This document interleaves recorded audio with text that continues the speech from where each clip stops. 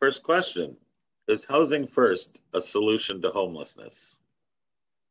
Housing first is a part of the solution to homelessness.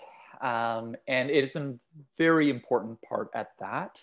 Um, if we think of housing first, uh, both in terms of how it was developed and then how it was evolved, um, it is largely an intervention that meets people where they're at who have really intensive needs.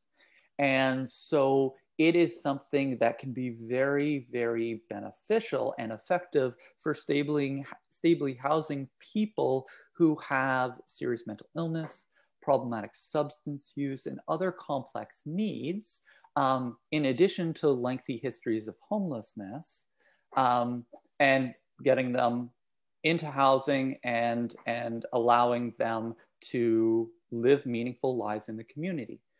And at the same time, not everybody that is experiencing homelessness needs housing first.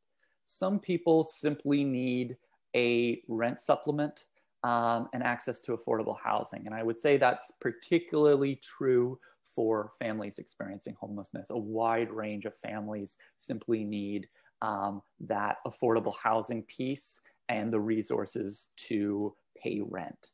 And so here's an example where this subset of the homeless population needs a different solution. And so while housing first is tremendously helpful for some people, we need the, the full solution to be geared toward the needs and wants of those that are experiencing homelessness. For some, that's going to be housing first, and for other people, it's going to be another evidence based uh, or policy intervention.